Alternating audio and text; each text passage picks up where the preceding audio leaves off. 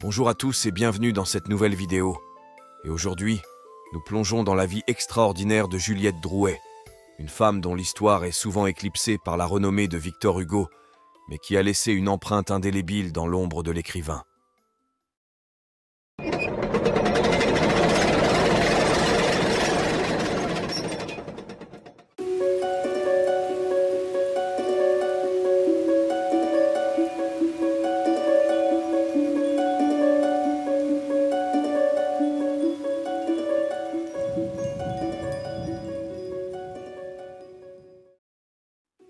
Juliette Drouet naît le 10 avril 1806 en France, et plus particulièrement à Fougères.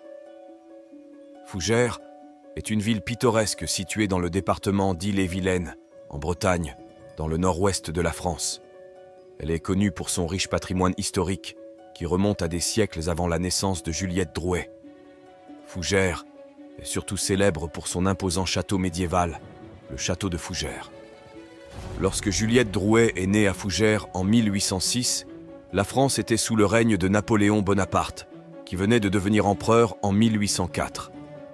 L'Empire français était à son apogée, et Napoléon entreprenait des réformes majeures, y compris la création du Code Napoléon, qui a influencé le système juridique français et de nombreux autres pays.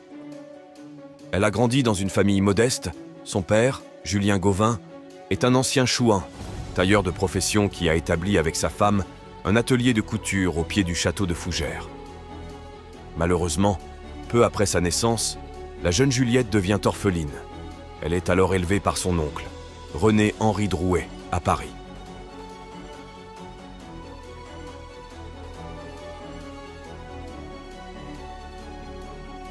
Dès son plus jeune âge, elle a montré un talent pour la scène.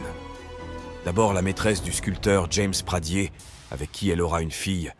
Elle commence une carrière de comédienne en 1828, au départ à Bruxelles, puis à Paris.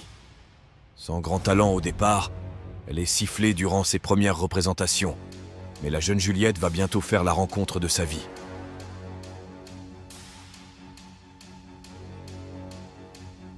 La rencontre entre Juliette Drouet et Victor Hugo a eu lieu en 1833, lors d'une soirée théâtrale à Paris.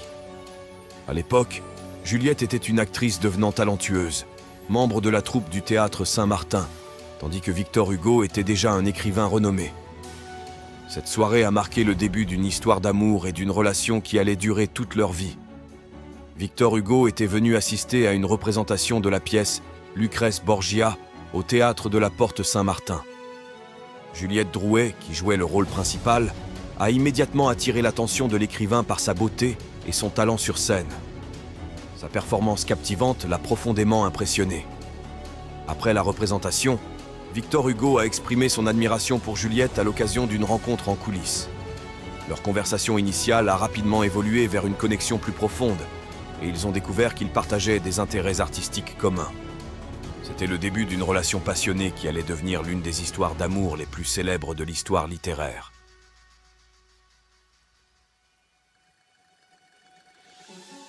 Alors qu'elle avait une fervente envie d'être comédienne, Juliette Drouet lâche tout du jour au lendemain pour se consacrer à Victor Hugo. Elle devient sa muse, sa confidente, sa compagne dévouée. Mariée à Adèle Fouché, la liaison entre Hugo et Juliette reste secrète. Leur relation est surtout marquée par un nombre impressionnant de lettres échangées. Juliette est folle amoureuse de l'écrivain, qu'elle suivra partout. L'exil de Victor Hugo et de Juliette Drouet est une période significative de leur vie, marquée par des défis, des persécutions politiques et leur dévouement inébranlable l'un envers l'autre. L'exil de Victor Hugo et Juliette Drouet a eu lieu pendant la Deuxième République française.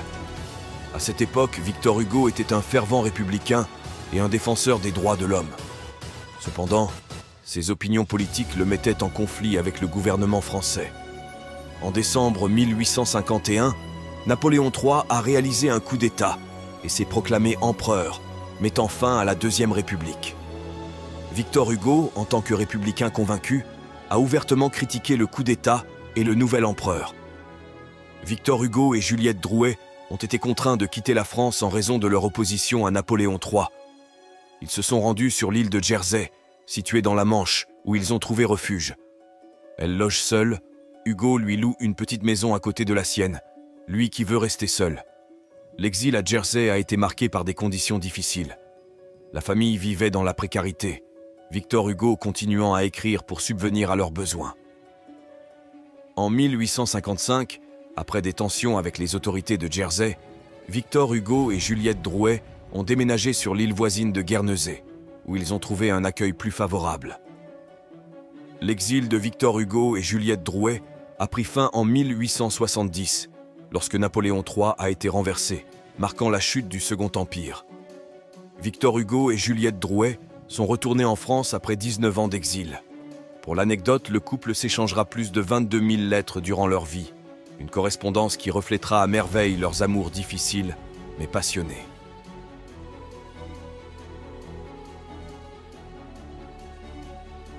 À la fin de sa vie, Juliette Drouet était âgée et avait déjà survécu à de nombreuses épreuves. Elle avait suivi Victor Hugo en exil sur les îles anglo-normandes de Jersey et de Guernesey pendant de nombreuses années, renonçant à sa propre carrière d'actrice pour rester à ses côtés. Juliette Drouet a passé ses dernières années à Paris après le retour de Victor Hugo en France en 1870. Elle vivait dans la solitude et la pauvreté, car Hugo, bien que célèbre, était endetté et ne pouvait pas fournir un soutien financier adéquat. La santé de Juliette s'était détériorée avec le temps. Elle souffrait de problèmes de santé liés à son âge avancé et à ses années difficiles d'exil. Elle était alitée et dépendante des soins médicaux. Juliette Drouet décède le 11 mai 1883, à l'âge de 77 ans, dans son modeste appartement parisien. Elle est morte seule, sans la présence de Victor Hugo à ses côtés. La cause exacte de sa mort était une insuffisance cardiaque. Après sa mort, Victor Hugo a écrit une lettre déchirante dans laquelle il exprimait sa douleur et son chagrin, qualifiant la perte de Juliette comme la fin de sa vie. Nous nous quittons sur les mots de Victor Hugo après la mort de Juliette Drouet.